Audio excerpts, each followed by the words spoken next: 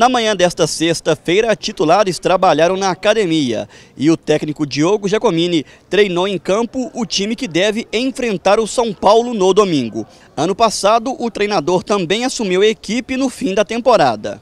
É verdade. Coincidentemente, né, dois adversários que eu enfrentei nas duas últimas rodadas do Campeonato Brasileiro ano passado, né, nessa sequência, Grêmio e Chapecoense, ainda com o São Paulo é, nesse primeiro jogo aí de domingo. Eu estou encarando como mais um passo na carreira. É, agradeci o presidente a confiança do clube, né, para uma finalíssima de Copa do Brasil, para tentativa de reverter um placar.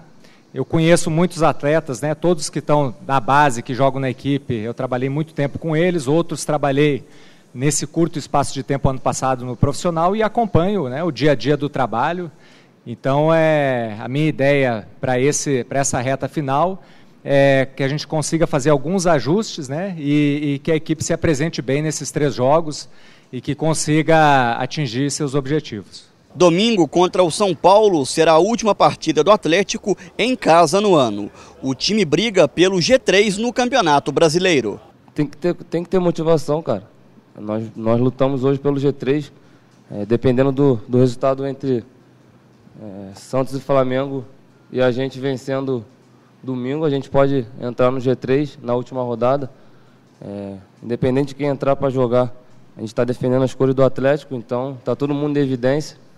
É uma equipe que, que treina junto há algum tempo, é, que jogou, jogaram algumas partidas.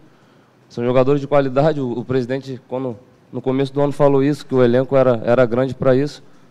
É, para os jogadores que estavam jogando muito descansar. Então, os jogadores que jogaram quarta-feira vai ficar vão descansar e quem puder, quem vai entrar também pode mostrar um pouco do seu futebol. Acho que é final do ano, mas está todo mundo em evidência. Quando tu bota a camisa do Atlético, está todo mundo olhando. Então, é uma equipe de qualidade que poderia qualquer um ser titular no, em qualquer equipe do Brasil.